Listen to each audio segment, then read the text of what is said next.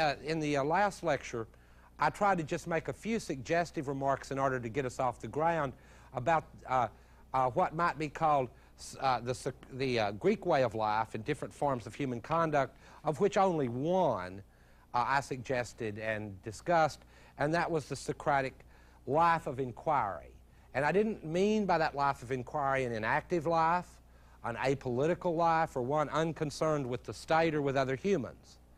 But in fact, I wanted to present it not as some academic debate, but as a life deeply immersed in your social situation and in your attempt to understand who you are and who your fellow citizens are. Uh, among the values that, uh, that Greek society held out, and a, as an answer, one possible, localizable, and possibly usable answer of what human life is about for the Greeks was, to sum it up in one word, and this will be all I'll have to say about Aristotle or Plato, uh, is excellence. In a way, it's well known that the Greeks have an ideal of excellence, where by excellence the Greeks meant something like this to be an all rounder, you know? It's in sort of West Texas parlance, an all rounder. Somebody that, you know, could write a country song, punch out a big guy, shoot a game of pool, work a full day's work, and was smart enough to read a thick book. That, uh, and I, I don't mean to make it too mundane because if you look at the description of Odysseus in Greek literature, that was sort of an ideal of excellence in their culture. And it's not like our ideal because Odysseus was one, a clever liar, two, someone who would cheat the gods when, necess- when possible and necessary, uh, who could drive a furrow, throw a discus, sail a boat, you know, and a bunch of things, right? And so for the Greeks, excellence was a whole series of traits of human beings, well rounded in all respects, so that uh, some of the Greek, one of the great Greek tragedians was buried, and his marker remarked on what a great soldier and orator he had been, but said nothing about him winning the prize for the plays for which we know him today. So the Greeks had this idea of, of excellence, which to us can only be a pale shadow in a society where we mean something so radically different by excellence.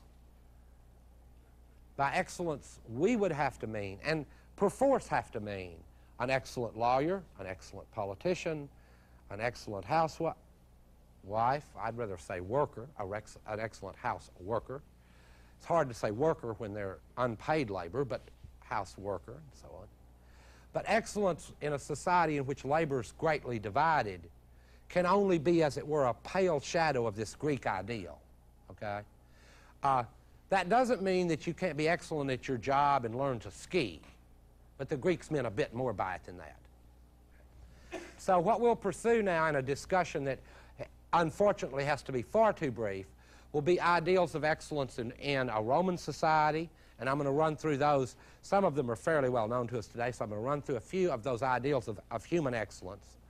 Again, localizable to the, to the Roman Empire. Again, very Western, you know, all traditional, don't, no problem there. And then I'll end with a little intimation of something I'll try to pick up on again at the end of the lecture.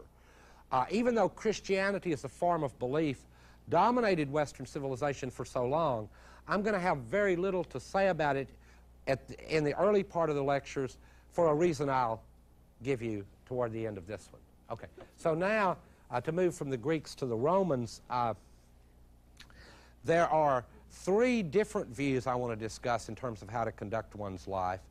And uh, two of them bear a nice historical parallel with conditions in the Roman Empire and its fate. Uh, one of the positions with which uh, many of you are familiar, at least in name, because the word, although it means something slightly different today, this position is probably familiar. Uh, one of the answers to how to live given during the rise of the Roman Empire when the markets were filled with goods and there was much to enjoy, even for some of the plebeians, there was much to enjoy because Rome was looting the world. Uh, uh, maybe some of you understand this condition from your experience. I don't know. But anyway, uh, it was a good time philosophy. It was hedonism. Now, it's important to understand that philosophers uh, of the old school make a living refuting hedonism because how could a view about what is the best kind of life for humans or the right thing to do, and I'd like to make this simpler by just using Spike Lee's phrase, how could do the right thing mean do what makes you happy? But actually, this view is harder to refute than one might think. Because in answer to the problems of life, the hedonist response that you should do what makes you happy is actually a fairly powerful view, I think.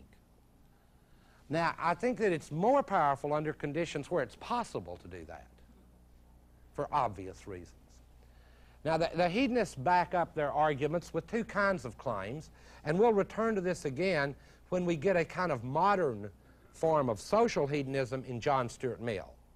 But the hedonism of the Roman Empire was, uh, was uh, uh, connected with various schools, the Epicureans and others, where we get the word epicure. And that ought to already tell you something about the kinds of pleasures to be pursued. And this will be disappointing to many of you.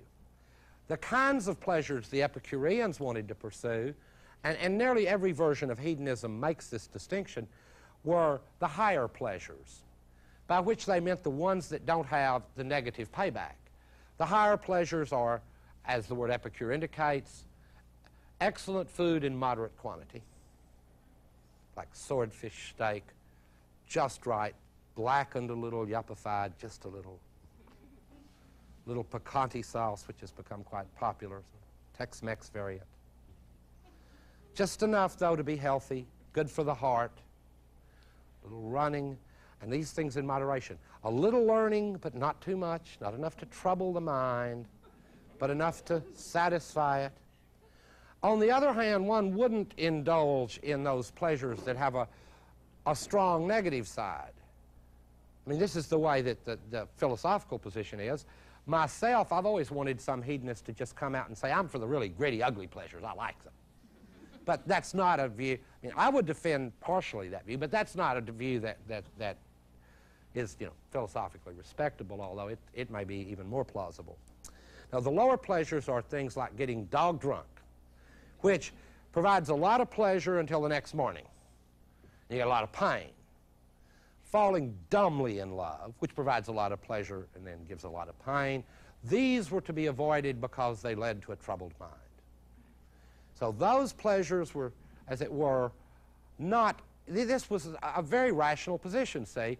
The idea is to maximize one's pleasure, so you follow the most rational course to do that. You go after higher pleasures that don't have a, a bad downside and avoid the so-called lower pleasures that have this downside. A good drunk, uh, uh, again, our culture is familiar with this, just say no to drugs. Well, the reason for that can't be that they don't make you feel good. You know, I'm an, I'm an old 60s person and I know better. They make you feel good, but they have a downside. So I'm not, I'm not arguing, don't, don't charge the stage. I'm not saying say yes to drugs. I'm just saying you'd be a fool to say they don't make you feel good. They do make you feel good. Just get, you ought to be, tell the truth about some things once in a while. Hell, it won't hurt. Even in Reagan and Bush's America, it doesn't hurt to tell the truth once in a while. Just don't get caught by your friends, okay? Uh, in, any case, uh, uh, the problem with drugs, though, is they have this downside. You know, the cocaine blues is a familiar, not only country song, but phenomena. Way up, way down. This view of seeking pleasure was quite widespread in a period when Rome had a lot of pleasures to seek, booty from all over the world. During the decline of Rome, a rather different uh, view of the best kind of life for human beings arose, and I'll discuss it briefly too. And uh, then we'll compare them because the comparisons are interesting. And that's Stoicism.